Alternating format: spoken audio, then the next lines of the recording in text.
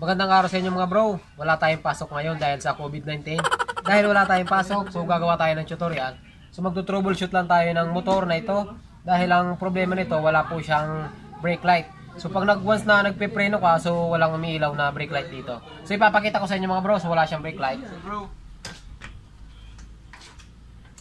So ayan mga bro, kung nakita nyo, so nakaapak ako sa preno. So wala siyang brake light. Kahit sa kamay. So ayan.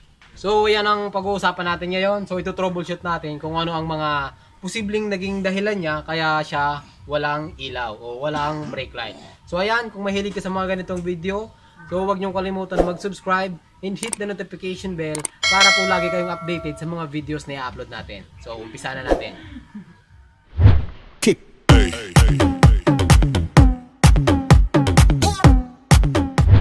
Bale mga bro, ah maraming pwedeng maging dahilan kung bakit wala tayong brake light. So possible, ah, pundido na yung ilaw niya. Pwede rin sa wiring, pwede rin sa switch. So isa-isahin natin mga bro para malaman natin kung ano talaga ang problema niya. So unahin natin mga bro. Ayan, brake light. So ang gawin natin diyan, so natin yung ah, brake light niya para malaman natin kung pundido na ba ang ilaw or gumagana pa. So, ito yun mga bro. Yung socket na ito, hanapin nyo lang yung socket. Ayan. So, sa Roser, so, bali mga bro, sa iba-ibang motor, so iba-ibang brand, so magkaiba siya ng color coding, kung makita nyo. Ito sa Roser, Kawasaki, so meron tayong black, meron tayong blue at red. So, ang black ay negative, yung blue sa brake light, yung red ah, sa tail light mga bro. So, umpisahan natin. So, supplyan natin yung kulay kulay blue. Yan mga bro. So kumuha lang tayo ng ano, extra wire. Kung meron kayong test light, pwede na to. Ayan. So kumuha kayo ng ah kumuha tayo ng wire. Pwede naman wire. So itap nyo dito sa positive. Itap nyo sa positive. Ayan. So nakatap sa positive mga bro. So ingatan nyo lang makanik ito sa negative. Baka masira at baka masunog. Nakatap niya sa positive, susuplayan natin to. So, dapat ang mangyayari dito mga bro, kahit naka-off yung susian, yung ignition switch, i-try muna natin yung tail light mga bro. Yung kulay red. So, dapat magkakaroon ng ilaw yan. Kung okay pa. So, ayan. So, umilaw yung tail light niya. Kung nakita nyo mga bro. So, umilaw yung tail light. So, tanggalin natin. Yan, umilaw. Yung tail light. Yung brake light naman, So, i-try natin yung brake light sa kulay blue. Ayan. Yung brake light. Lagyan natin ng supply. So, ayan. Ayun! So, may ilaw talaga pala siya mga bro. Ang ibig sabihin yan, so, hindi pa sira ang brake light mo. So, possible sa switch at saka sa wiring. Sa doon naman tayo. So, nalaman na natin na yung brake light pala ay hindi pa sira. Mga bro, ito pala yung brake switch. Kung nakikita nyo, yung sa foot brake, ayan. So, ang nangyayari dyan mga bro, may spring yan. So, pag ginaapakan nyo yung preno, ayan. So, pag ginaapakan nyo yung preno, so, nahihila siya. So, pag dumidikit yung contact niya, so, umiilaw. Nagkakaroon ng ah, brake light. So, naka-normally open mga bro.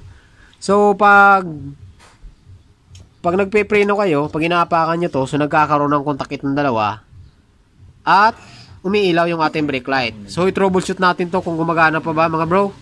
Ayan. So, hanapin nyo lang yung socket niya. Ano yan? Hanapin nyo yung socket niya. So, andito yan. Ayan. So, ito yan mga bro. So, ito yung socket niya. So, i-try natin kung gumagana pa. So, ayan mga bro. So, tanggalin muna natin tong socket para malaman natin kung gumagana pa ba yung uh, switch at saka kung may sira yung wiring niya. So, ayan, natanggal na. So, ito mga bro, yung galing ng brake switch. Ito naman yung galing ng accessory wire. So, itong isa mga bro, yung isa, galing ng accessory wire yan. Tapos yung isa, papunta dun sa brake switch. So, ayan. So, pakita ko muna sa inyo. So, ipakauto ko sa inyo mga bro, yung isa nito ay mayroong laman. So, ikabit lang natin yung negative side ng ano, ng test light. Kabit natin sa negative. So, ayan mga bro, so nakakabit sa negative to. So, itry natin tong isa kung mayroong laman. Dapat mayroon mga bro, yung isa dito. Galing ng accessory wire. Hindi kita. So ayan, kung nakikita nyo may ilaw yung test light mga bro. So ibig sabihin, okay pa yan. Okay pa yan mga bro. Ang mangyayari kasi dito mga bro, ayan. Ayan dalawang ano yan, terminal na yan. Pag nagdikit yan, magkakaroon ng magkakaroon ng ilaw yung brake light natin. So i-try natin i-shoot yan. Possible kasi mga bro, bak pwede rin nasisira rin kasi yung wiring nito sa gitna. Na pag naputol yan, wala rin. So itatry natin idikit yan. Pag dinikit natin yan, dapat magkakaroon ng ilaw ang brake light. So try natin. So short natin mga bro. So kuha tayo ng wire. Ayan. Short natin.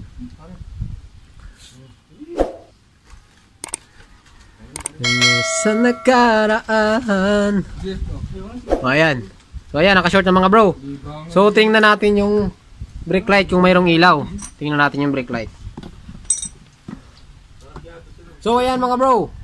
So, may ilaw yung brake light natin. So, tanggalin natin. Mamamatay yan. Ayan. So, tanggalin natin. Pak. So, ayan, patay mga bro. So, ulitin natin, nakabit natin para makita nyo.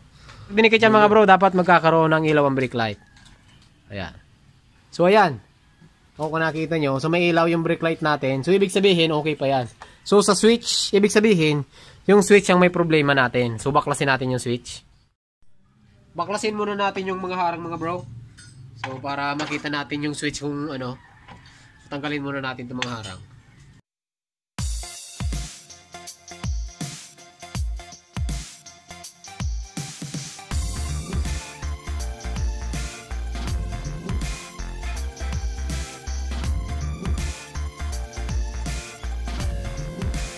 So dapat yan mga bro para malaman natin na gumagana pa yan. So hatakin muna to ng hatakin muna natin tong ano niya para kalambre niya. Ayan oh. So, hatakin muna natin. Dapat umilaw ang brake light. Pag hinatak natin yan, dapat umilaw ang brake light. So pag hinatak natin yan na hindi na umilaw ang brake light, so sira na yan.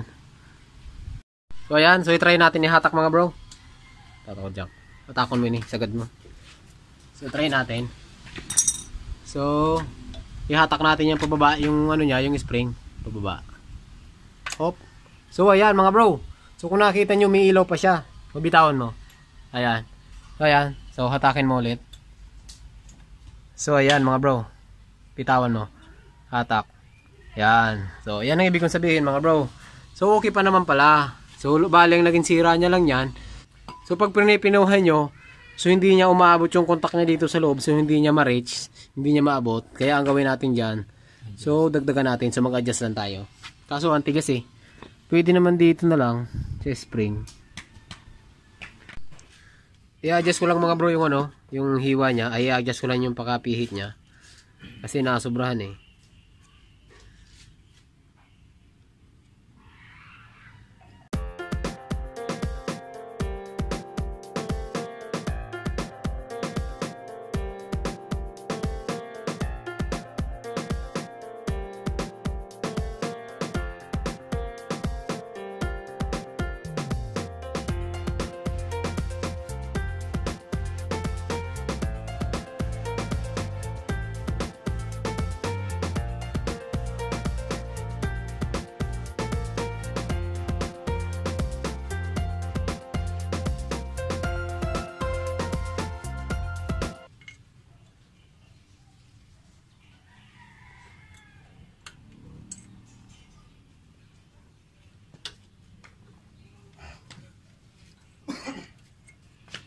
Ignog. Banata man ng itlog, pare. Ignog.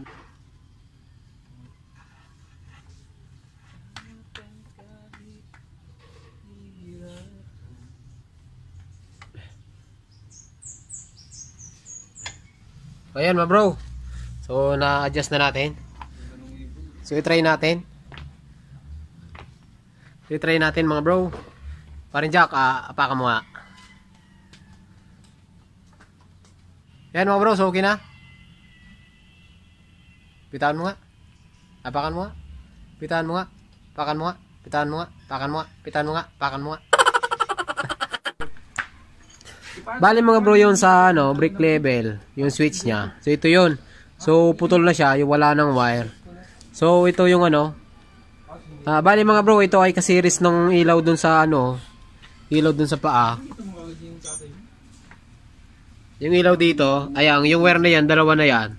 So ito rin yan. So halos parehas lang yan, walang pagkaiba. So ito yan. So linabas ko na. Ayan. Ito yan mga bro. Ngayon, ang gagawin natin dyan, so kumuha ako ng ano, dalawang wire. Ayan. So isasalpa ko na lang dito. I-splice muna natin.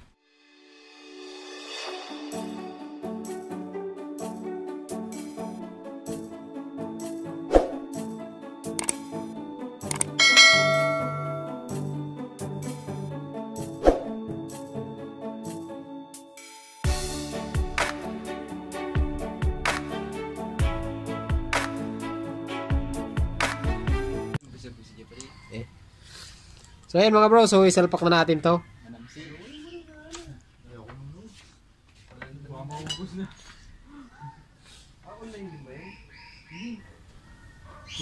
Magandang larawan. So ayan mga bro, so nakabit na natin. Ayan. So nakabit na natin yung sa lever niya, dun sa preno sa huli ah. Kasi mga bro, dalawang switch ng brake light. Isa sa paa, at saka isa dito sa kamay. So i-try natin. Hingi tayo ng tulong kay Waring Wanglo. Will you please press the brake, uh, the, yan. Yan. So nakita nyo mga bro, so mayroon na siya. Bitawan mo. Ayan. Yung sa paa nga, i-try mo.